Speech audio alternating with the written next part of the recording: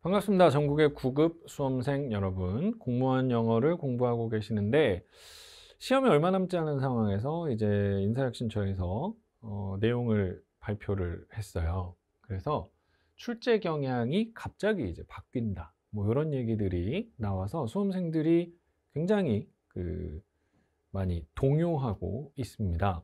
사실 그 아 제가 누구냐면 저는 모두공에서 영어를 강의하는 모두공 영어 대표 강사 이열입니다. 자, 근데 사실 어 우리 시험에 얼마 남지 않은 이 상황에서 굳이 이걸 발표를 해야 됐느냐?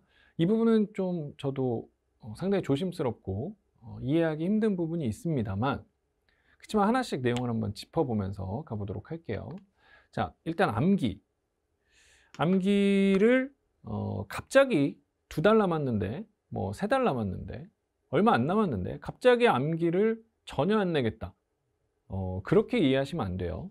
영어는 언어이기 때문에 암기가 필수인 과목입니다. 암기를 0으로 만들 수는 없어요. 무슨 문제를 내겠다는 거예요. 암기를 하지 않고는 전혀 풀 수 없는 문제들이 존재합니다. 아시겠죠? 다만 그 암기의 치중에 있었던 약간 지나친 됐죠? 그 지나친 부분에 어, 이 그 부담을 좀 완화하겠다 이런 얘기예요. 이 영어 전공하신 분들이 이제 지금 박사 과정에서 어, 이제 교수님들이 출제를 하시겠지만 박사 과정에서 주로 논문으로 다루는 내용 중에 이런 부분이 있습니다. 이 공무원 영어, 특히 9급 시험의 어휘 난이도가 정말 영어 교육적으로 적합한가라는 논문들이 어, 몇 편 나왔어요. 또 상당히 좀 수준 높은 논문으로 나왔습니다. 자, 그 얘기는 뭐냐면 9급 공무원 시험이 과거 출제되던 그 공무원 시험이 어, 사실 독해에서 출제되는 어휘와 그 다음에 어휘 문제로 출제되던 어휘의 그 사이에 빈출 그러니까 자주 쓰이는 빈도 어, 상 너무 큰 차이가 있다는 거예요. 독해에서 출제되는 어휘의 수준은 뭐 일상적인 수준의 뭐 어느 정도 수준에 그 해당하는 어휘였다 그러면 이 어휘 문제에 해당하는 어휘는 너무 지나치게 어려운 어휘들이 출제되는 경향이 있다라는 거를 이제 전공하시는 분들 사이에서도 끊임없이 비판이 제기되어 왔었습니다. 그래서 그 부분에 대해서 어, 많이 완화가 되어 왔어요. 그러다 보니 최근 한 3개년 정도 기출 문제를 보시면 위에 제시되는 그 위에 그 문제에 제시되어 있는 어휘보다 밑에 보기에 제시된 어휘들이 훨씬 쉽습니다. 어느 정도 수준으로 쉽냐면 보통 중학교 3학년 정도 수준, 많이 어려워도 고등학교 1학년 수준의 어휘로 구성되어 있어요. 그렇기 때문에 암기를 배제하려고 한다라는 내용은 이미 실현이 된 내용입니다. 적어도 2년, 3년 동안 그렇게 해왔어요. 그렇죠? 그런데 어, 이제 문법도 잠깐 살펴볼게요. 문법은 어, 예전에 공무원 문법이 영어를 가르치는 사람들 중에 가장 어렵다라고 가장 어려운 이 시험이 공무원 시험이다라고 어겨지던, 여겨지던 때가 있었습니다. 그것도 벌써 한 12, 3년 전 이야기예요. 그때는 정말 두꺼운 문법책을 어, 거의 다 외워야만 풀 수 있는 그런 문제들도 어, 빈번하게 출제가 됐었죠. 상당히 어려운 그 용어들 그리고 원어민이 봐도 아 이건 구분하기가 힘든데 하는 정말 문법을 위한 문법들이 출제됐던 게 과거의 경향이에요. 그런데 이것 또한 한 세 차례 정도 그 변화를 겪었습니다. 어, 2008년도 2008년도를 기점으로 문법이 한번 확 쉬워집니다. 그리고 2008년에서 2015년 정도 그 사이에 또 한 번의 문법이 또 털어내기 작업이 있어요. 그리고 2018년 이후, 2019년도 이후에 문법을 완전히 걷어내 버렸습니다. 그래서 문법 출제만큼은 어, 사실 더 이상 공무원 영어의 문법이라는 거에 특색이 더 이상 남아있지를 않아요. 오히려 수능 문법보다도 더 그 출제 범위가 적습니다. 그렇기 때문에 수능 공부하는 친구들이 문법 공부를 하지 않죠. 왜냐하면 문법 문제가 한 문제밖에 출제되지 않고 그 문법 또한 문법 공부를 해서 푸는 문법이 아니라 독해와 그리고 글 전체적인 내용을 이해해서 풀어야 되는 경우가 더 많기 때문에 시험에 나오는 포인트들은 정해져 있어요. 그렇기 때문에 문법 공부를 거의 하지 않습니다. 그래서 공시 영어에서 암기를 줄인다라는 얘기는 이렇게 생각하시면 될 것 같아요. 문법을 위한 문법은 이제 더 이상 공부할 필요가 없다라는 걸로 생각하시면 됩니다. 자, 그런데 문법이 문법 문제를 풀기만 위해서만 존재하는 건 아니죠. 문장을 해석하려면 그리고 어, 문장이 뭐 어떤 의미로 쓰이는지 그 미묘한 차이를 알아내려면 또는 모르는 단어가 있을 때 문법을 알면 해석이 되는 경우들도 있거든요. 그래서 어느 정도 문법이 좀 필요합니다. 됐죠? 그리고 문법 문제도 여전히 출제되니까요. 그런데 그 문법을 암기식으로 공부하지 말라라는 메시지로 보시면 돼요. 아시겠죠? 자, 그래서 변화의 과정에 대한 말씀을 좀 드렸습니다. 변화의 내용에 대해서 암기를 하지 마라라는 얘기는 크게 그 두 가지입니다. 단어 어, 밑에 제시되는 어휘를 상당히 어렵지 않게 내줄 테니까 불필요한 어휘 외우지 마라. 그리고 문법, 불필요한 문법을 더 이상 공부하지 말아라. 자, 그러면 대체 왜 이런 발표를 하고 그리고 왜 시험이 이렇게 변하고 있는지를 한번 보면 실제로 어, 저희 가족들 중에도 공무원이 있는데 저희 가족들 중에 공무원이신 분이 어, 되게 혜택이 많아요. 공무원이다 보니까. 그래서 뭐 외국으로 연수를 나가기도 하고 여러 가지 좋은 점이 있더라고요.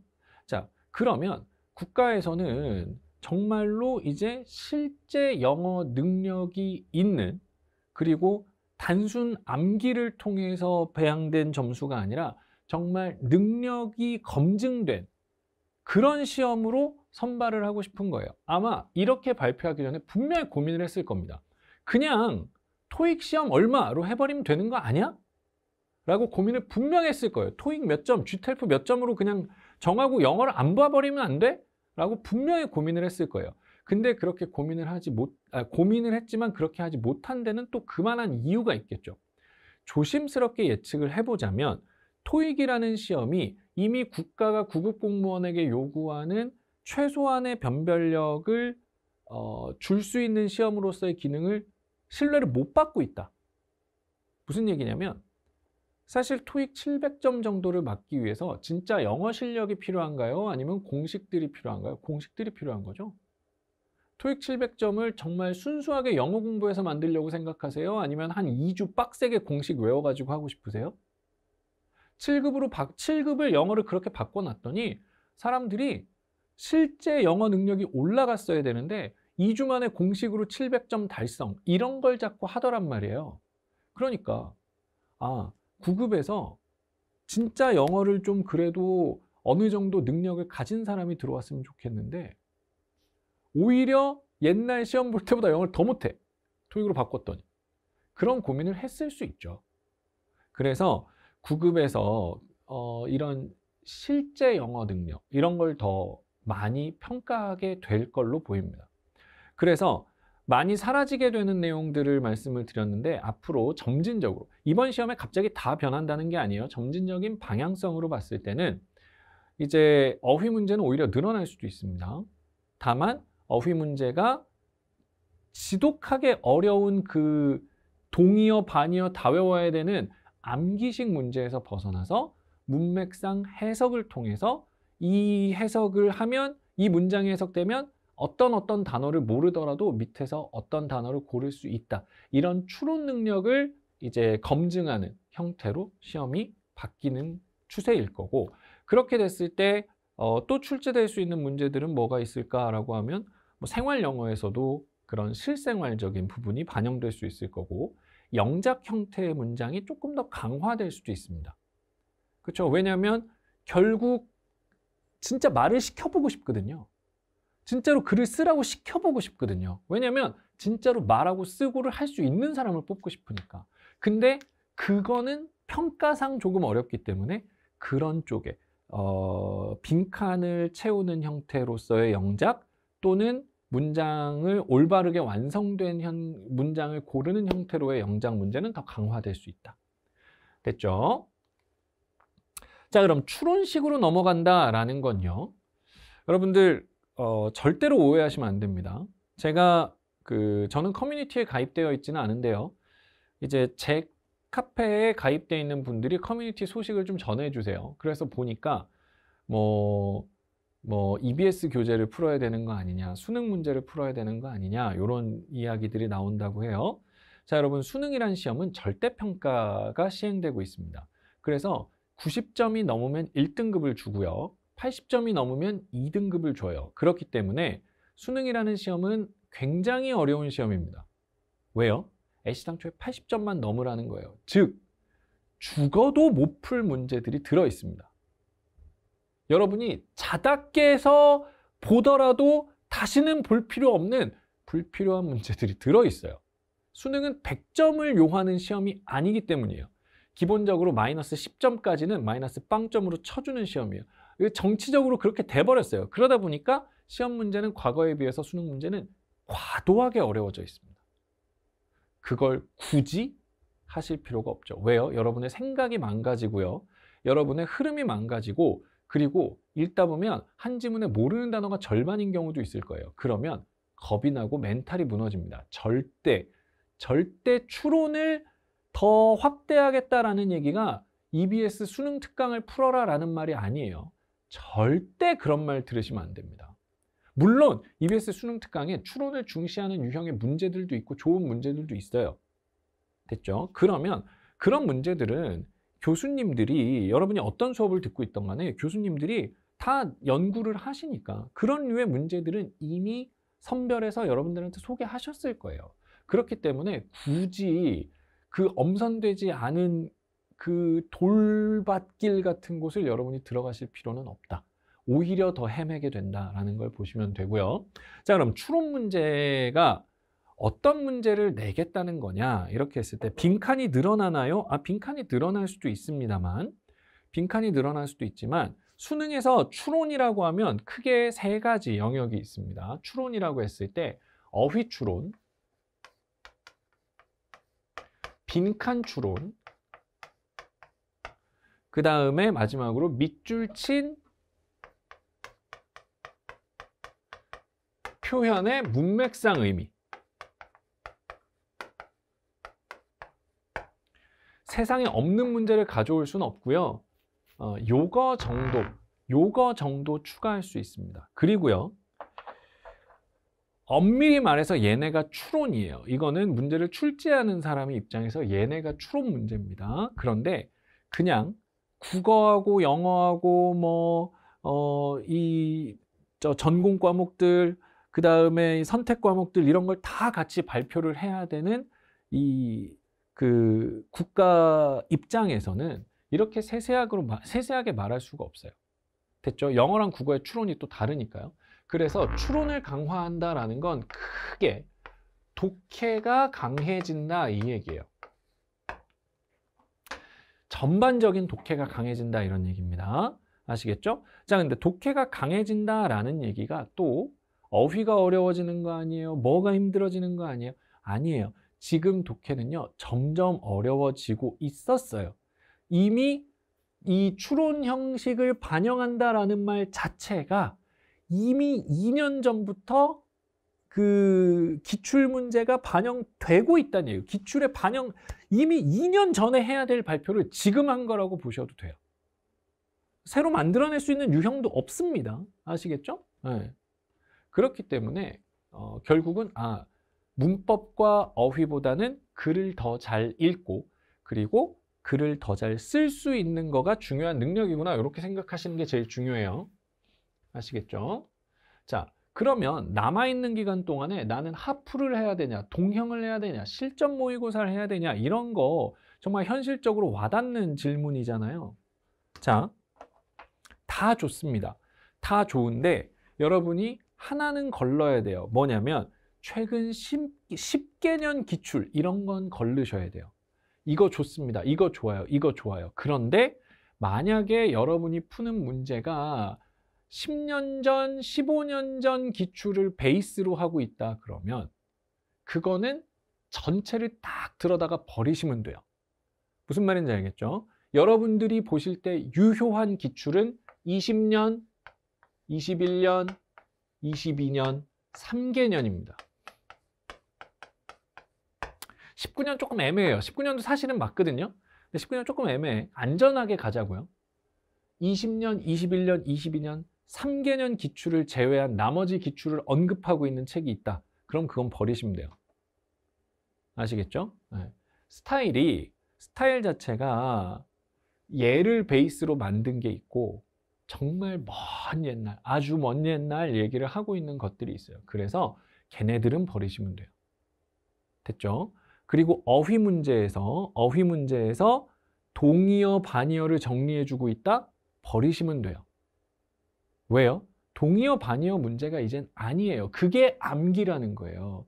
추론이라는 건 문맥상 해석을 해서 그 밑에 있는 비교적 단순한 단어들을 추론하여 답을 선택할 수 있느냐를 묻는 거예요. 얘와 얘는 동의어니까 보자마자 답을 그걸 걸으란 얘기입니다. 아시겠죠? 그게 딱 인사혁신처에서 제일 싫어하는 스타일인 거야. 문법도요. 문법도 이런 거만 걸으시면 돼요. 뭐냐면 뭐 문법 용어들 막 설명해서 바르는 거 있죠. 그리고 이런 수거가 있죠. 이런 거를 외워야죠. 이런 게 나오면 걸르시면 돼요. 무슨 말인지 알겠죠? 아니 왜냐면 내가 비교적 자유롭게 얘기를 하는 게 왜 그러냐면 나 이것도 안 하고 이것도 안 하고 이것도 안 해. 그죠? 전 아무것도 안 하기 때문에 여러분이 뭔가 해야 될 거 아니야. 내 걸 들으라고 하는 말이 아니야. 뭔가 해야 될 거 아니야. 근데 해야 될 것과 걸러야 될 거를 얘기하는 거예요. 그리고 여러분이 20년, 21년, 22년에 대한 기출은 완벽하게 이해를 하고 계셔야 돼요.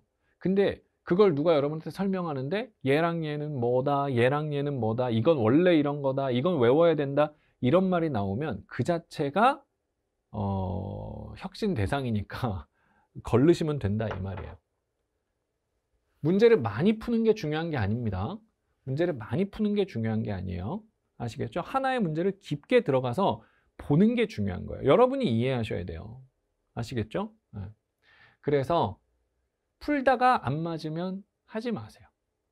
뭐 구할 수 있는 거 많이 있잖아요. 그렇죠? 가장 집중할 것은 뭐냐? 가장 집중할 것. 공부를 하면서 어떤 형태로 변하든지 정말 실력이 있는 사람은 풀 수 있는 문제가 나올 거예요. 그러니까 여러분이 가장 집중해야 되는 건 내가 진짜로 실력이 늘고 있나입니다. 내가 진짜로 실력이 늘고 있는지 아닌지가 가장 중요한 거지.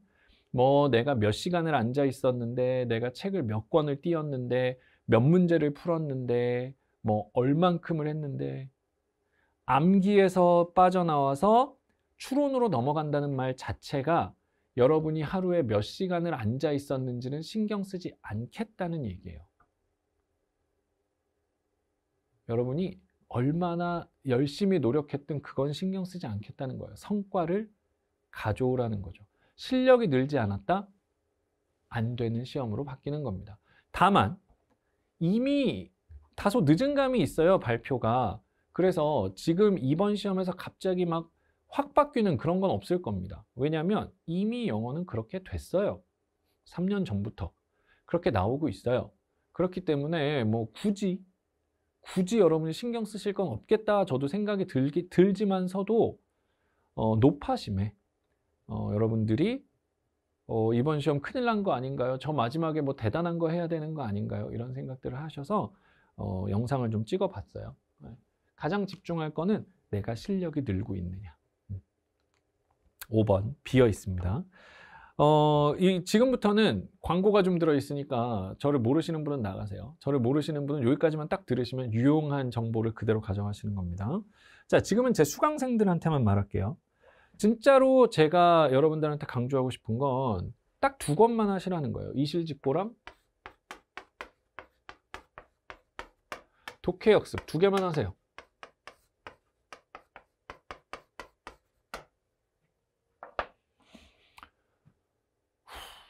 두 개만 하세요. 이 두 개만 하셨을 때 여러분들이 실제로 문제를 푸는 양은 독해 문제, 문법 문제, 문법은 뭐 정말 문법 문제 연습으로 한 300문제 이상 푸는 효과가 있을 거고요. 독해도 한 500지문 이상 읽는 효과가 있을 겁니다. 아시겠죠? 다만 독해 학습은 최대한 빨리 끝내시고 이실직고는 최대한 여러 번 보시는 걸 추천할게요. 아시겠죠? 독해역습은 왜냐면 기술이에요. 기술. 방법을 빨리 익혀야 돼. 그래서 독해역습은 제가 찍는 대로 족족 빨랑빨랑 끝내시고 됐죠? 이실직고 같은 경우에는 시험 전날까지 보셔야 되는 거예요. 아시겠죠? 네. 그래서 어 제가 모두공 처음 들어서 하프모의고사 찍었는데 하프모의고사 막판에 가면 제가 어휘랑 어법 문제 다 빼버리고 어막 뭐 독해만 있는 뭐 생활 영어 이런 거 다 빼버리고 독해만 있는 하프 막 이런 식으로 문제를 막 만들어서 해놨거든요. 그 정도 하프는 마- 파이널에 한번 해보시는 거 괜찮을 것 같아요. 근데 얘네 둘이 가장 가장 중요한 기둥 두 개입니다. 이 두 개 기둥으로 확실하게 잡고 가세요. 어차피 어차피 지금 나와 있는 하프 동영 다 갈아엎힐 겁니다. 그렇죠? 실전 모의고사 다 다. 예. 그래서 여러분은 딱 시간이 지나면 누가 쓰레기였나를 알 수 있을 거예요. 예, 알수 있을 겁니다. 그래서 어, 시험 끝나고 웃을 수 있게 해드릴게요. 그냥 두 개의 기둥만 확실하게 잡고 계시면 돼요. 아시겠죠? 쫄지 마시고요. 여러분의 앞길에 이 세상 모든 어, 모든 긍정적인 어, 어, 일들이 있기를 기도. 여러분의 성적을 반드시 올려드리겠습니다. 제가 이열입니다.